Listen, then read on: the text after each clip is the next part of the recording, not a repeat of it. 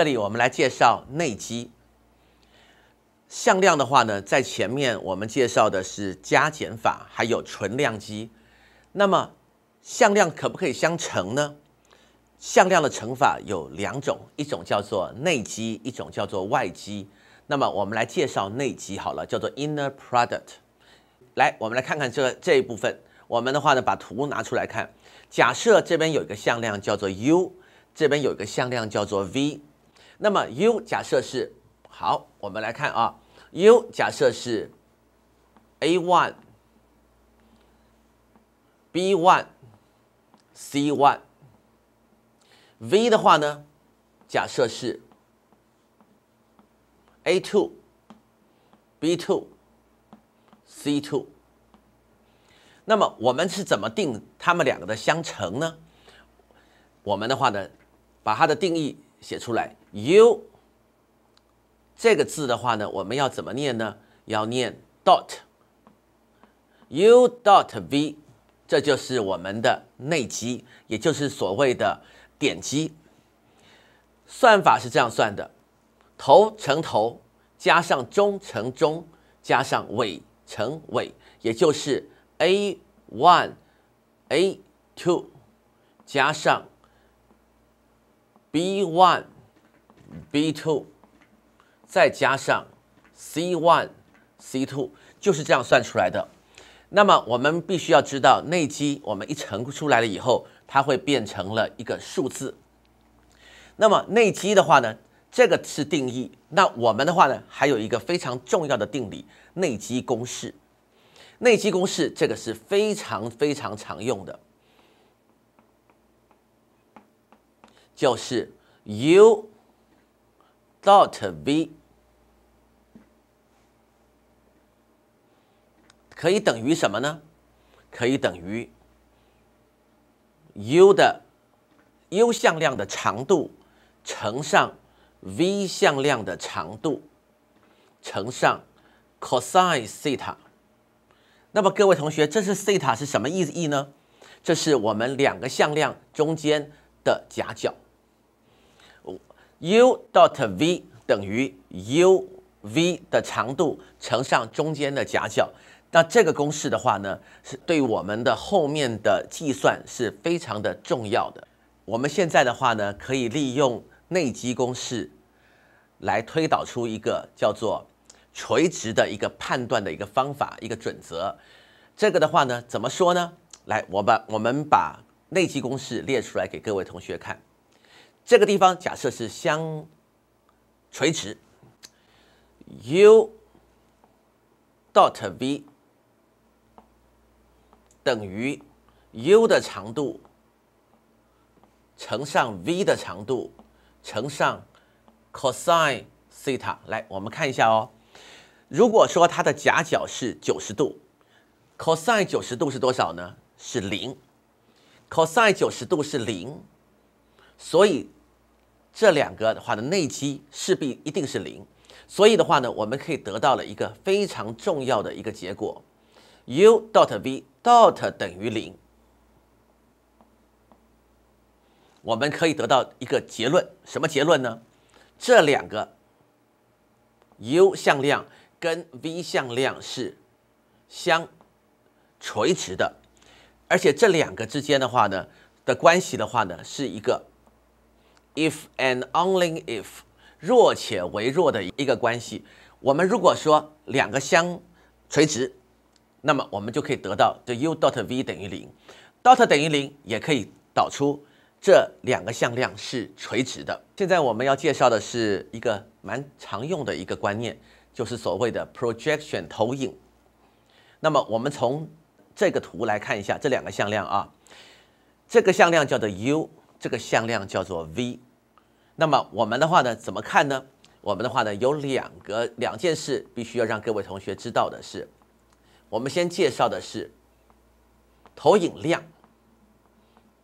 投影量的意思就是说，我们现在的话呢，假设。光线就在我们的十二点钟的向上面，我们的话呢，直接垂直下来，这是一个直角。那么这一段就是我们所谓的投影量。那么投影量是多少呢？这边的夹角叫做西塔的话，那么投影量是 u 的长度乘上 cosine 西塔就可以了。那么我们的话呢，根据前面的内积公式，我们可以把这个投影量的公式可以把写得更加的简洁。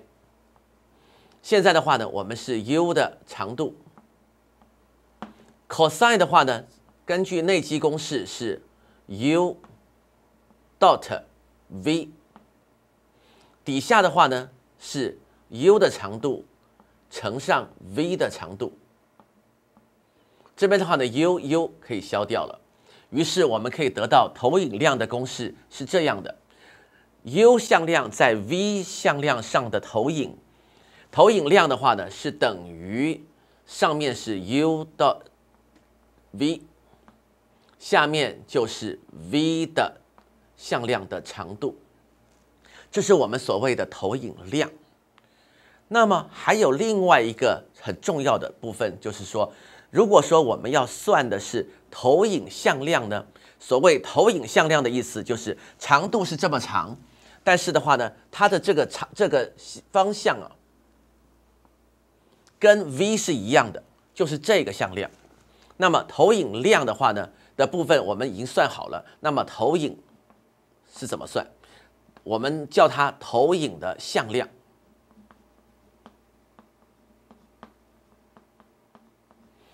这个很容易的，因为量已经知道了，我们只要再加上呃 v 方向的一个单位向量就可以了。那怎么做呢？我们就直接把这个写下去，这是一个数字哦，u dot v 它是一个纯量，除以 v 向量的长度，再乘上。因为是在 v 的方向，所以这个地方的话呢，我们再加上一个 v v 向量除以它的本身的长度，这是一个单位向量。我们一个数字乘上一个单位向量，相当于是那个方向加上了它的倍数，所以这就是我们的投影向量的公式。内积在物理上面有一个很重要的一个应用，就是功。功的意义是什么呢？W 是 work 等于 F 乘上 d。那么我们现在的话呢，要必须要了解它的意思。F 的话呢，指的是力，力就是向量。d 的话呢是位移，位移也是一个向量。那么我们的话呢，要求的是它在这个力啊是在移动的方向所产生的力。所以的话呢，这个地方的话呢，我们来看，如果力的话呢是在这个方向，位移在这个方向，那么我们必须要求的是它在这个上面的一个分量。也就是说，这边假设是叫做西塔的话呢，那么我们所做的功是多少呢？我们的功应该是 W 是等于 F 的长度。乘上 cosine 西塔，它的意思是什么呢？是在第一方向上面的这个量，这个量。好，然后的话呢，它位移是多少呢？位移是 d，那么我们再乘上它的位移。那么各位同学看一下，这就是什么呢？这就是内积公式，也就是所谓的 F 向量 dot d。所以，我们这个地方的话呢，呃，功的这个公式的话呢，work 是是什么？是其实它是一个向量的公式。这个地方的话呢，它的乘法是一个内积。那么我们介绍了这个功的一个原理之后，我们来再介绍一个例题。我们来看看这个功的一个例题啊，一个力啊，它的单位是磅 （pound）。那它的方向的话，大小是二一三。好了，那么固定的施于一个物体，让它变成直线的进行，由一二三移到二三四。那么我们问做了多少功？使用内积公式非常的容易。来，我们现在先把我们的条件先写出来。我们的 F 力是什么？力是二一三。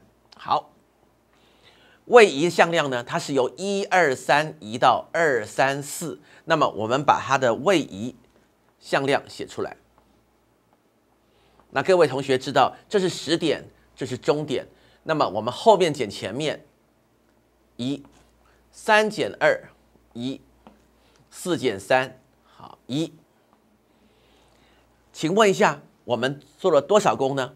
功的算法就是两个来做一个内积，W 等于 F dot D。所以的话呢，我们就直接来算它的内积。内积的算法，头乘头，中乘中，尾乘尾乘尾之后相加，等于二加上一，再加上三，这是多少呢？六。六的话呢，它的单位这是磅，这是尺。我们的话呢，英制来说的话呢是 foot pound，尺。有了内积以后，我们发现我们解题都非常的容易。